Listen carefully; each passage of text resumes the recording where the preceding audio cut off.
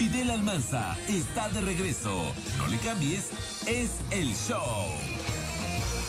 Estamos de regreso exactamente las 11 ya con 3. Este es el show.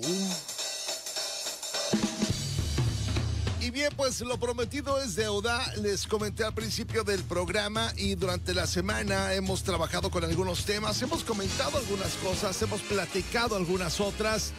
Y el hecho es de que queremos llevarles a todos ustedes un mensaje especial y que sea de ayuda al final del día y que te sirva a ti como hombre, a ti como mujer. Ahí nos platicamos con eh, una psicóloga, con la psicóloga Andrea, y platicamos algo acerca de la salud mental.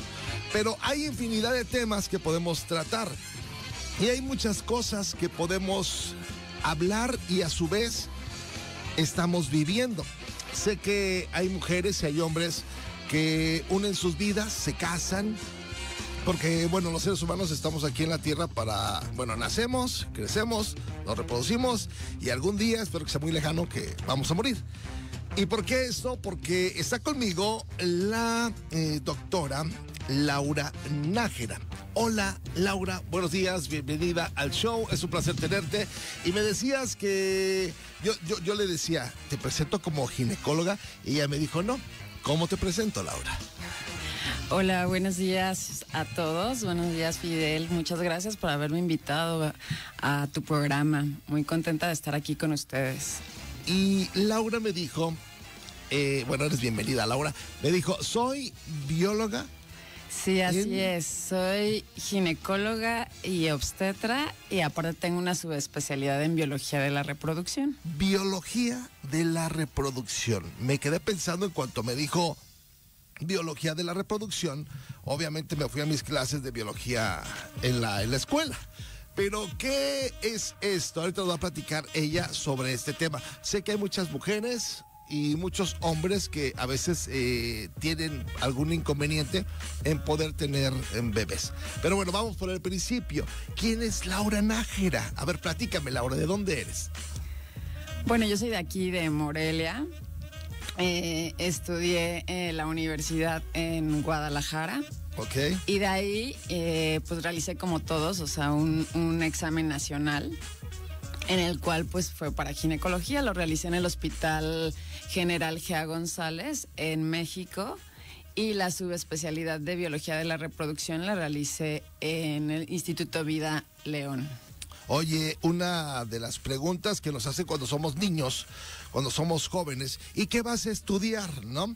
Y yo recuerdo que en mi caso decía, yo quería ser ingeniero, y luego cambié la historia y quería ser eh, DJ, y luego cambié, luego, total que me gusta mucho la arquitectura, pero yo te pregunto a ti, ¿por qué ser ginecóloga?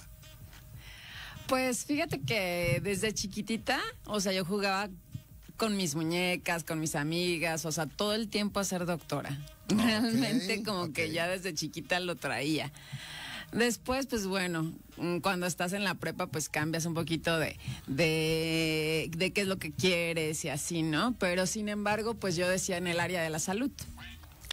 Y de ahí, o sea, todo el tiempo, o sea, como que pacientes, eh, y una vez que ya estudié eh, medicina, o sea, en la calle me encontraba a, a mujeres embarazadas, aunque me tocaba ayudar, fui una vez a hacer unas prácticas en la Cruz Roja y igual, o sea, me tocaba atender pacientes que estaban en parto y todavía yo no sabía ni siquiera, o sea, nada, nada, nada. Entonces ya, ya eso como que ya me seguía desde, desde mucho tiempo. Oye, una de las preguntas que les hacen a muchos doctores, y me imagino que te la, te la han hecho a ti en alguna ocasión, o igual tus compañeros amigos, la sangre.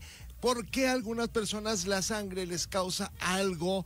A ti no te causa ni mareos, ni te desmayas, o no te pasa nada, porque a gente sí le, le pasa, ¿no? No, sí, claro que sí. En mi familia todos les pasa. O sea, mis hermanos no pueden ver una jeringa así con tantita sangre porque pues les da un infarto. Pero no, yo siempre, de hecho, cuando estaba en las prácticas, eh, siempre decía, si no hay sangre, o sea, no fue una guardia divertida. ¿En serio?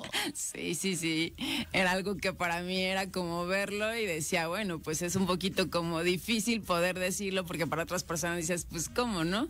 Es complicado, pero en mi caso pues no, yo siempre que lo veía era para mí algo muy interesante y poder ayudar a ese tipo de personas. Que algo, eh, eh, eso es fundamental. Creo que la palabra clave, hace ratito yo platicaba algo dentro de esto, el ayudar a las personas es como que el sentido que obviamente pues todos tenemos algo específico en la vida, pero eh, la cuestión de salud, la cuestión de ya ver algo de el poderle ayudar a cómo, en, en tu caso, dar vida, ¿cómo se da eso en ti? Cómo es que dices, ¿sabes qué?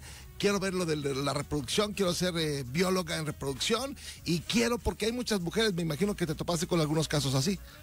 Sí, de hecho, muchísimos casos. O sea, realmente cuando yo entré a ginecología, eh, pues yo me imaginaba el mundo solamente de puras cesáreas y partos.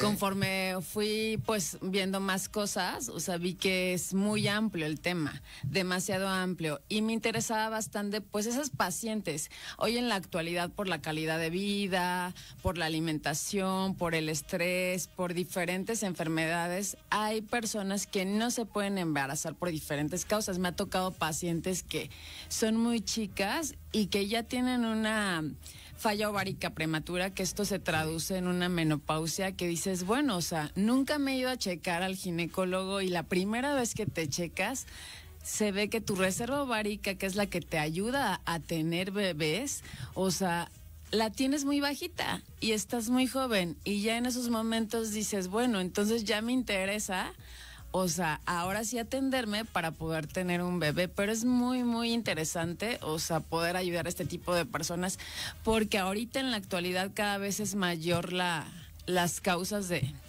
de este tipo de padecimientos. Creo que hay muchas dudas al respecto. Yo, en lo particular, pues bueno, eh, me, me gusta leer mucho. Y me gusta cuando voy así al ginecólogo con mi esposa, que tú lo sabes, pregunto, veo y analizo. Pero, ¿de dónde viene esta? Ahorita tocaste el, punto referencial. Por ejemplo, ¿el estrés te puede causar que no pueda tener bebés?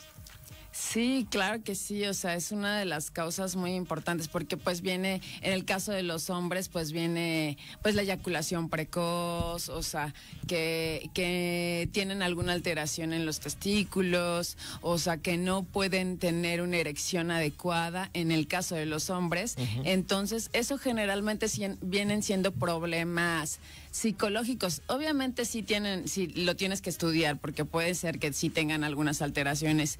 Eh, eh, patológicas, ¿no? Sin embargo, o sea, ese es uno de los factores, el factor estrés que, que les causa, no sé, por algún motivo que hayan pasado desde chicos, les causa este problema y no se pueden embarazar. O en el caso de la mujer, ¿no? O sea, cuando ha tenido pues una violación, o sea, algún evento psicológico que le haya afectado tanto en su vida, o un aborto, o alguna cosa, o sea, es muy complicado que llegue o sea, a, tener una buena respuesta en, en, la ovulación. Podemos decir que el ser humano pues es una creación en la cual tiene pues todo para hacer las cosas adecuadamente, pero eh, eh, a la cabeza llegan otras tantas o que le mete el, el ser humano a la cabeza cosas y sí se puede bloquear, se pueden bloquear esas áreas, ¿no? Se puede...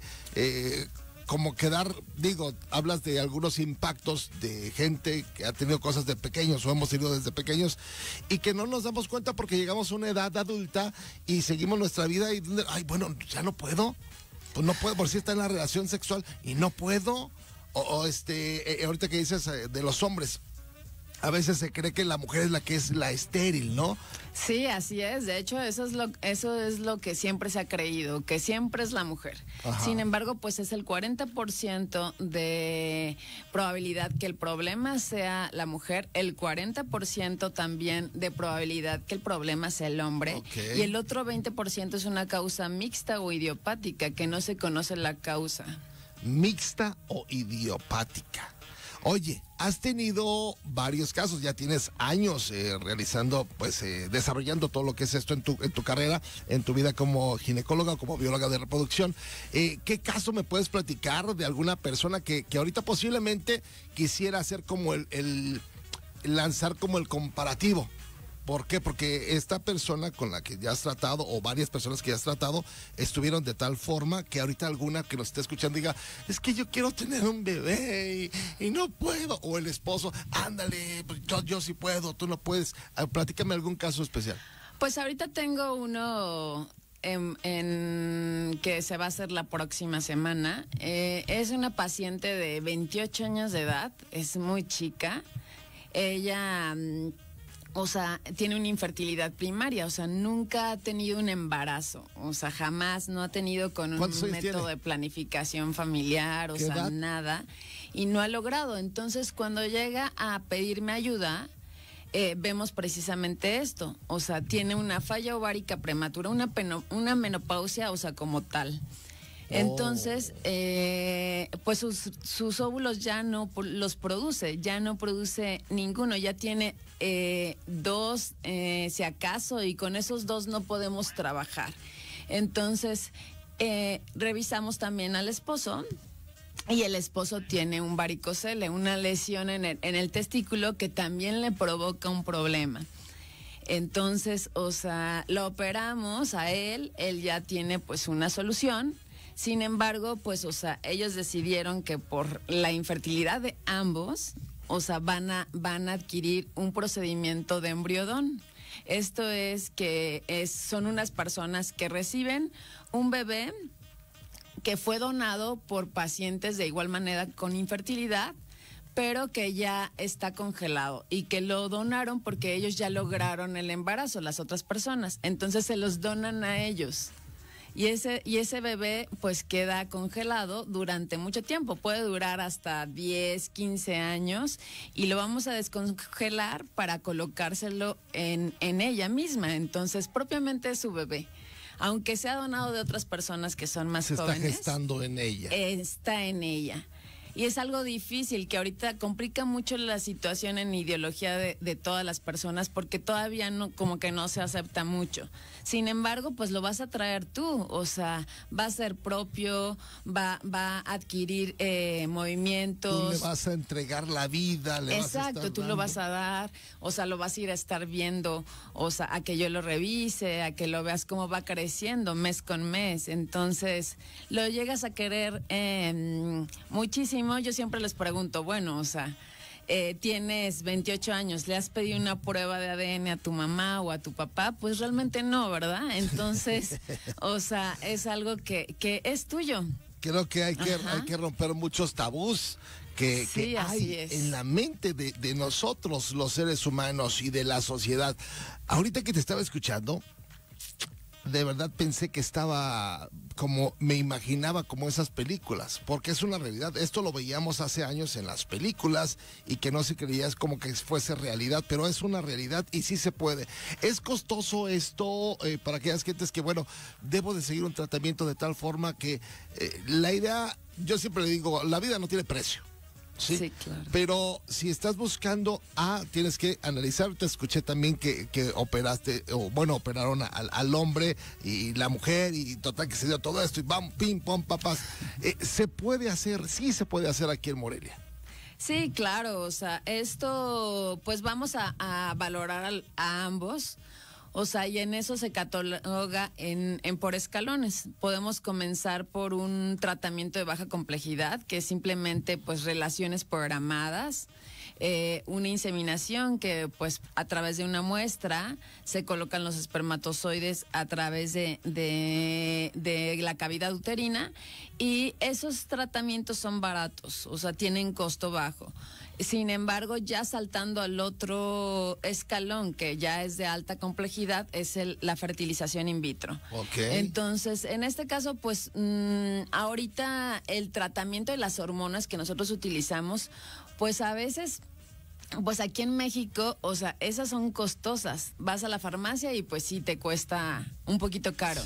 Sin embargo, ahorita tenemos muchísimas promociones de las cuales, o sea, podemos eh, compararnos con otros centros de reproducción, de los cuales el tratamiento, pues, eh, es muy barato. Digo, no puedo hablar ahorita, o sea, Sí, como sí, de sí, no, no, costos, en- pero, pero a comparación de otros, nosotros ahorita les estamos ofreciendo muy bajo el costo y con poca cantidad de, de hormonas, que es algo que les da mucha probabilidad y que es algo nuevo. Y al final, al final del día, yo creo que la parte económica tiene, tiene una, una importancia, pero no es tan relevante como la importancia de la vida.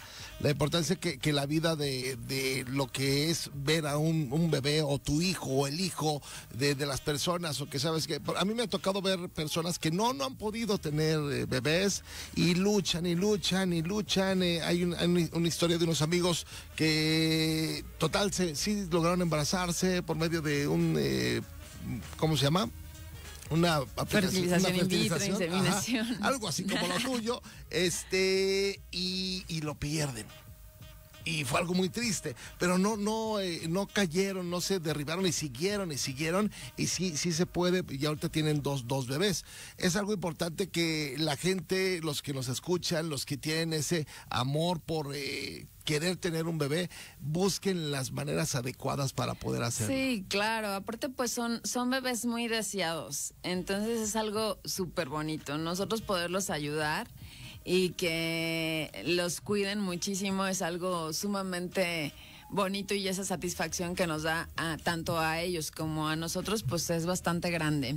Eso es bueno. Pues eh, Laura, es un tema bastante inmenso, largo por, por compartir y creo yo que de ayuda para las personas, porque ahorita pues eh, tú como mujer, hay muchas mujeres que se identifican también allá afuera, hombres que también, yo, yo he visto casos de hombres que, ándale, mi amor, vamos a tener un hijo, esto, lo otro, y, y como que no se animan por las circunstancias que tal vez vivan. ¿Dónde te pueden encontrar? ¿Cómo te pueden localizar para que les ayudes? Eh, aquí, de hecho, estoy aquí en el Hospital Victoria, en el piso 12, consultorio 1213. Ahí eh, pueden localizarme. Mm, No sé si les van a dar los datos o que salgan por, por las redes en relación a mi teléfono. Pueden Sí. contactarme directo y con gusto les doy eh, una, una asesoría acerca de esto, porque ahorita pues también este- existen las pacientes que alargan mucho por el trabajo, por sus sueños, etcétera, se están embarazando pues ya más grandes. Ese es y esto es un tema importante y pues muy interesante porque también lo podemos lograr. O sea, mientras exista menstruación, o sea, hasta los 40, 45, o sea, podemos eh, eh, lograr un embarazo y con éxito. Pues yo creo que vamos a programar otro, otra entrevista porque ese tema es muy importante. Ahorita se ha dado mucho esta situación de, de la mujer y, y acaba de pasar el Día Internacional de la Mujer y hay mujeres que quieren trabajar, quieren realizarse, no quieren tener hijos, no quieren atarse, dicen así, no lo digo yo, dicen así, quieren, no quieren atarse a estar cuidando porque es que no sé, qué, pero creo que el tiempo es eh, muy importante y bien lo dices tú, eh, puede ser 40, 41, 43, 44, 45. Si- Ahorita escuché esta frase, siempre y cuando haya menstruación, puede haber oportunidad. Sí, claro, así es. Y eso no se sabe. Sí, es cosa que no lo sabes, ni tampoco cuándo es la primera consulta con el ginecólogo, ni cuándo es la última. Entonces muchas cosas que todavía tenemos eh, que ayudar mucho y promover eh, pues la consulta con ginecología. Pues te voy a comprometer eh, a ver si, si puedes, porque sé que eres muy ocupada. A ver si, no sé, cada 15 o cada semana que podamos tocar el tema, porque importa mucho, hay mucho desabasto de información como tal y que llegue bien a los oídos de las personas que, que les interesa. Y también saber unos como, uno como papás, por ejemplo, yo tengo una hija y, y cuándo te la tengo que, que llevar al ginecólogo. O- o- hombres, no nos seguimos porque no, eso, eso son cosas de mujeres, ¿no? este, es neta, debemos eh, ayudarles, cuidarles, protegerles, guiarles, etcétera. Y qué mejor con un especialista como Laura Nájera. Tu número telefónico. 4433 69 25 63. 4433-692563. Laura Nájera, bióloga en reproducción. Y ustedes la pueden encontrar aquí en el edificio Victoria, exactamente en eh, lo que es el edificio, en el piso, En el piso 12. 12. Piso 12, edificio Victoria. ¿Ok? Consultorio 1213. Muchas gracias, Laura. Pues eh, entonces hacemos compromiso más adelante para que vengas y platiquemos esta parte de las mujeres eh, ya de, de mayor edad y también de las niñas. También será interesante. Sí, así es. ¿Algo más que quieras agregar? ¿Algún saludo que quieras enviar? No, no, no, les agradezco mucho su atención, los invitamos a que nos visiten y pues con gusto les hacemos una promoción de mencionando pues que vienen de aquí de que vinieron y escucharon el programa. Y algo importante es, eh, bueno, yo lo particular, ahorita está tratando, ustedes saben que por ahí he hecho la mención de que viene Mía en camino y Laura ha sido una parte eh, fundamental de que esté hoy donde está la bebé, como está la bebé y en la evolución que ha tenido la bebé. Y con mucho, con mucha certeza lo hablo y lo digo. eh, es algo que te va guiando, que te va mostrando, que te va enseñando y, y nosotros eh, obviamente pues accedemos porque pues es especialista y sabe lo que trata. Y hoy estamos ya, ¿cuántos días? Estoy nervioso. Estamos ya, el domingo nace. El domingo. Estamos muy emocionados por recibirla. Ay, dímelo a mí. Muchas gracias, Laura. Gracias. Gracias. Gracias a Laura Nájera, bióloga en reproducción y ginecóloga, que puede tratar tu caso el día de hoy. Las 11 con 23 voy al corte y regreso con más. Ya regresó, ya está aquí. Fidel Almanza en el show.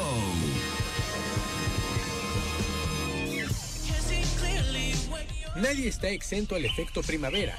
MG Radio. Visita Saldos al Costo en Avenida Siervo de la Nación, 665 Lomas del Valle, Morelia. Abierto de lunes a sábado, de 10 de la mañana a 8.